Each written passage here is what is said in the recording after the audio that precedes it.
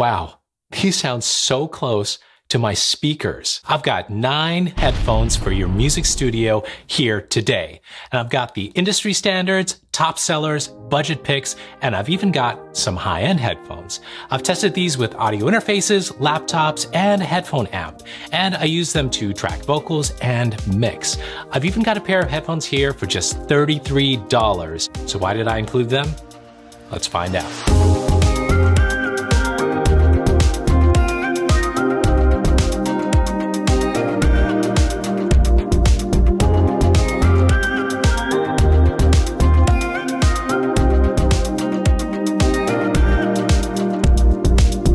A pair of headphones is not as easy as just saying, buy this one, it's the best, because it depends on its application. Are you mixing, using these while you're tracking, recording vocals?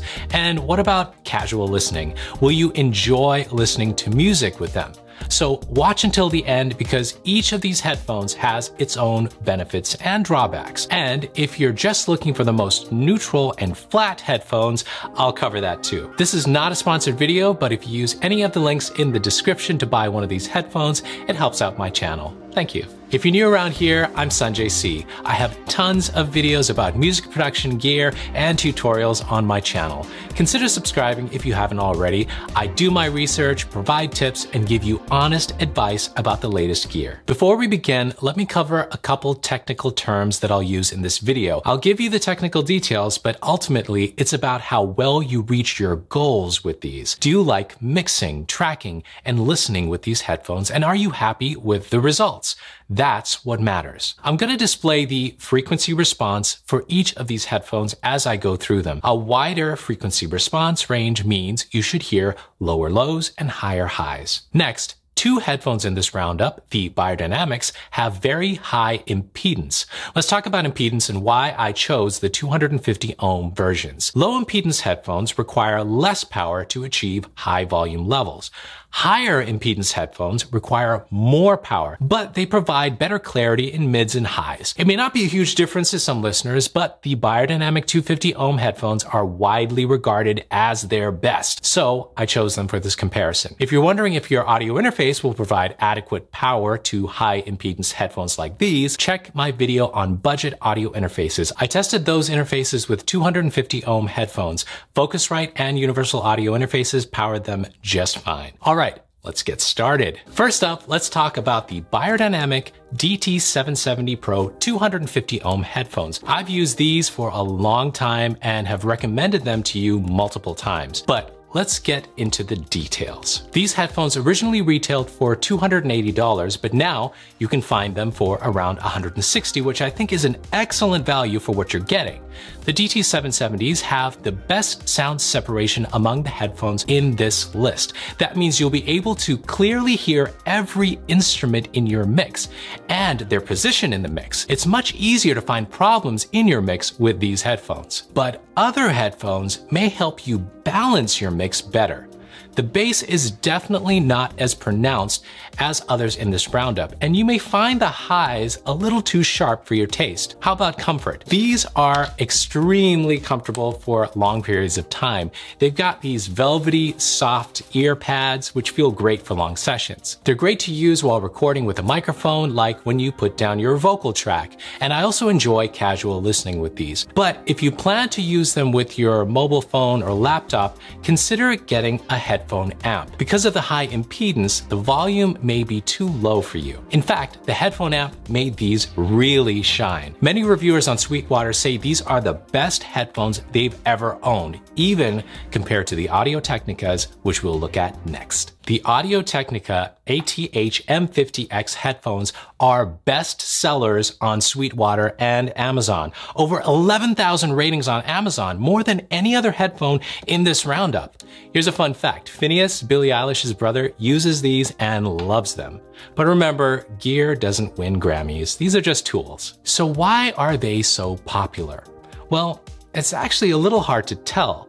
The collapsible design is nice if you're going to be traveling with these. The beyerdynamics don't fold up like this.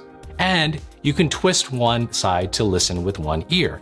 These headphones are not as comfortable as the Beyerdynamics. They actually feel a little tight on my head, but I've got a big head, so it may be okay for you. But other owners also complain of the discomfort of having these on for a long time. The ear pads have a nice leather feel and provide excellent isolation from outside noise, but my ears felt a little warm after using these for a while. So let's talk about the sound. What are they good for? Casual listening? Definitely. Mixing? Decent. These have the loudest bass of all the headphones in this roundup, so you have to watch out for that while mixing. Clarity is good with mids and highs, but I found that the bass just took over at times, overshadowing the mids. They're not as neutral as the Sony and Neumann headphones in this roundup, but that actually makes for a pleasant listening experience. The soundstage is not as good as the Beyerdynamics, but still better than the others in this list. I would recommend these for a producer or musician who needs good quality headphones that are very portable. These are easy to carry around or throw in a backpack. So, what about open back headphones? Let's take a look at the Beyerdynamic DT990 250 ohm headphones. These and the AKG headphones in this roundup are both open back. That means sound leaks through the sides of the cans intentionally. This is supposed to improve the spaciousness of the sound, the stereo width, making them sound closer to a set of speakers. So do they? Well, yes. I compared the open back to the closed back 770s and found a difference. A small difference, but it was there. If you've got discerning ears, you will hear the difference. Otherwise, sonically, these are pretty much the same as the DT770 closed back versions. The comfort is the same as well. These are great for long sessions, so if you're mixing with these, you're gonna love them. Now, because of the open back design, they're not meant for use while recording with a microphone because of the noise leak. Also, you probably won't use these for commuting or in public places. Everyone's gonna hear what you're doing. And you can hear a lot of noise coming in as well so best to be mixing in a quiet place. Still, I love the sound just as much as the 770s. When I started listening to the mixes through the 990s, I just wanted to keep listening and listening. It was hard to switch to another pair of headphones. That says something. So far, I've covered some reasonably priced headphones, but what do you get when you spend $500 or more? I'll let you know a little later in the video. All right, if you're looking for something more affordable, let's take a look at the Sony MDR 7506. You've probably seen these headphones in tons of studio pictures. It's used by audio engineers, vocalists, everyone. Many reviewers call these industry standard because of their flat sound. When I tried them, I heard a very even spread of basses, mids, and highs. It was a very cohesive mix.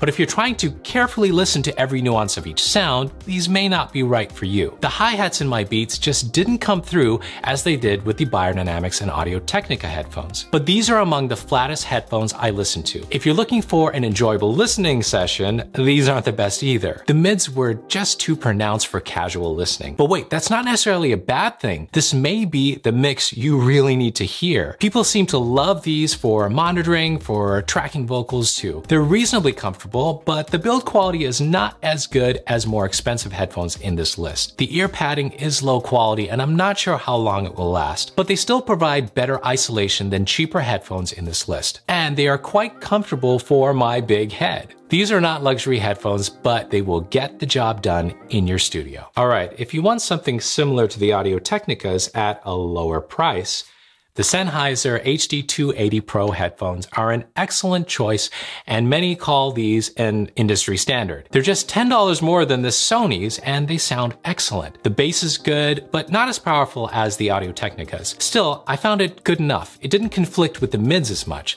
but the highs are much more subdued, with the mids taking center stage. The HD280s have the best isolation of all the headphones in this roundup and let in almost no noise. But that may be partly due to the fact that they fit a little tight. They're comfortable, but may need to be broken in to feel better. And my ears got real warm quickly. The cable is very heavy and tight. I thought it was just me, but others complained about this too. These are an excellent pick for tracking, but not my favorite for mixing. The clarity and separation just wasn't as good as others in this list. All right, Let's take a look at the budget headphones next. By the way, if you're looking for a budget audio interface for your studio, I've rounded up the top seven in a video here. And if you need a mini keyboard controller, you'll find a comparison of the top ones available on my channel as well. All right, these are the cheapest headphones by far at $33. They're the One Audio headphone. Never heard of them before. So why did I include them in this list? Well,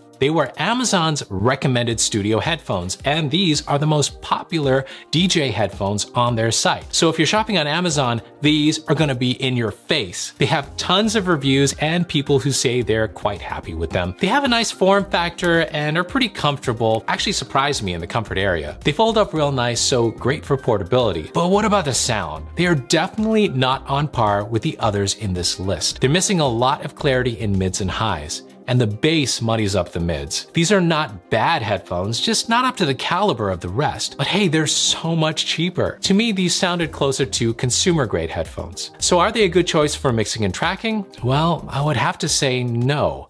I would recommend that you save up a little money and go with the Sonys in this list or even the Status CB1s, which we'll look at next. The Status CB1s are another very affordable set of headphones at $80. They came in a classy box that gave me high hopes on build quality, but when I took them out, they felt and looked a little cheap. When I put them on, isolation from outside noise wasn't that good, but they sound almost identical to the Sonys, and some reviewers say they're close to the Audio Technicas from this list. I didn't think so. The Audio Technicas had much more bass and better clarity in the highs, but the sound of the CB1s is very nice for the price. I'd say it's a more comfortable version of the Sonys. If $80 is your price point, I would recommend these. Alright, so what do you get when you spend a few more hundred dollars on studio headphones? Well, I've got two headphones here that retail for a lot more than the others. But wait, one of them has dropped in price to less than $200.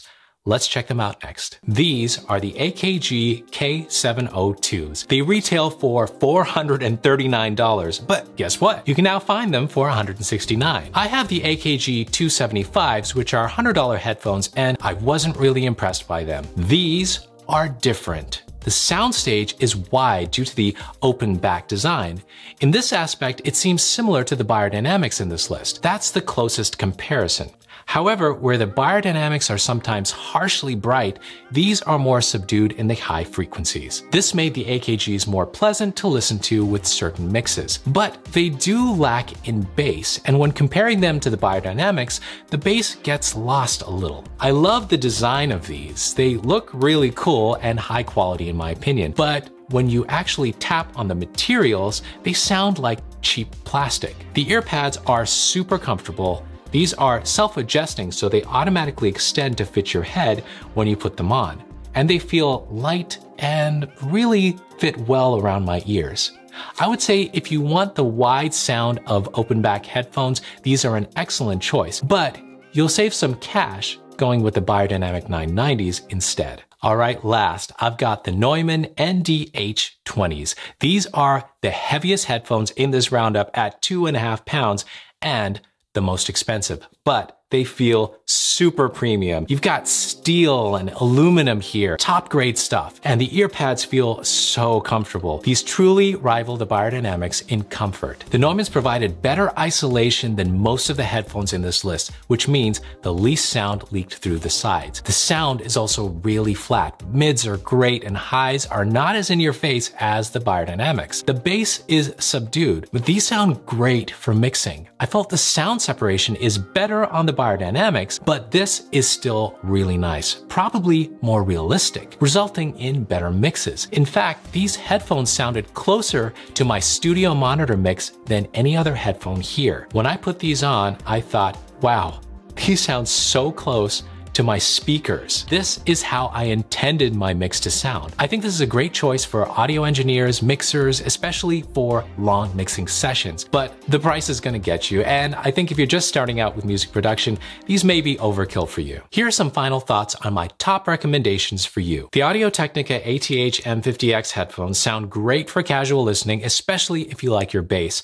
The clarity in mids is almost on par with the Beyerdynamics, but the comfort for long sessions worries me, and and other reviewers as well. And the soundstage can't compare to the beyerdynamics or the AKGs. Still, at $150, I think they're a really good overall value if you prefer more bass. The Sonys are also a great value at $90, and if you're going to be tracking or mixing, these are an excellent budget pick. Not as pleasant to listen to casually, but a great workhorse for your music production needs. After the beyerdynamics, I'd want a pair of these in my studio. Both the beyerdynamics are true winners for me. The stereo width, the soundstage, and just using them to pick out the problems in your mix top notch. I mean, you can place your sound more accurately with these. Remember to get the closeback version, the 770s, if you plan to use them for monitoring while recording with a microphone. And you may need a headphone amp depending on your audio interface, or if you plan to use these with a laptop or a mobile device. But I suggest testing them with your gear first to make sure you really need an amp. When it comes to soundstage, the open back 990s have a little advantage over the closed back DT770s and are better than the open back AKGs in my opinion. But if you have have to choose one, I'd go for the DT770s because they are more versatile. Finally, the Neumanns are a high quality, superior sounding set of headphones, excellent for mixing, excellent comfort. You get what you pay for. If your budget allows it, I would highly recommend these. You'll find the latest prices for all these headphones by using the links in the description. If you liked this video, hit the like button and don't forget to subscribe, make the music you love, and I'll see you guys later.